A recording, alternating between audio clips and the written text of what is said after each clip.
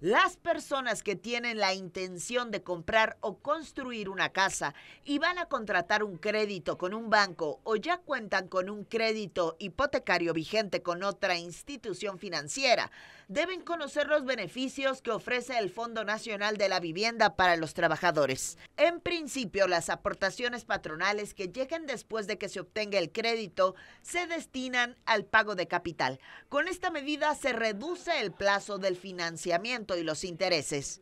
En caso de desempleo, el importe que tiene en su subcuenta de vivienda se usa para pagar las mensualidades hasta que se agoten los recursos o bien el beneficiario vuelva a ser contratado de manera formal. No es necesario cumplir con ninguna puntuación.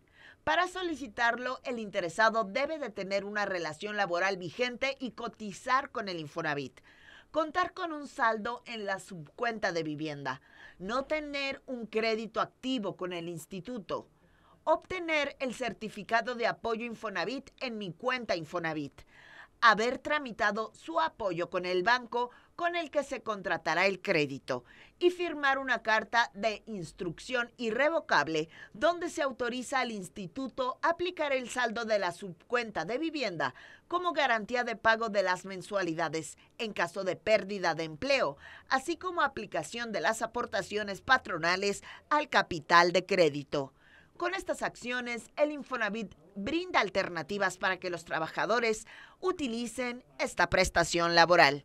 Con edición de Lorena Tobar, Fernanda Granados, Quiero Noticias.